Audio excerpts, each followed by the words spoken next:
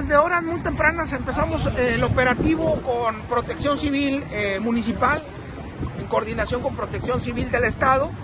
Este, Guardia Estatal nos está apoyando.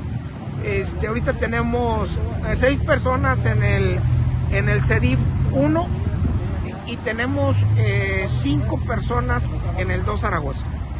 Las personas que llevamos al 2 Zaragoza son personas que, como esta que tiene estupefacientes, trae eh, alcohol, tiene, no podemos mezclarlas y pasarlas al, a- trae inhalantes, trae cosas. Entonces, eh, acaba de dictaminar el doctor que Tiene algún signo de hipotermia, el paciente tiene baja la temperatura y tiene baja saturación de oxígeno, por lo tanto es necesario resguardarlo. En el caso del CEDIV 1, bueno, pues, hay cobertores, camas, este, calentador, inclusive tenemos agua caliente y tenemos desayuno, comida y cena caliente.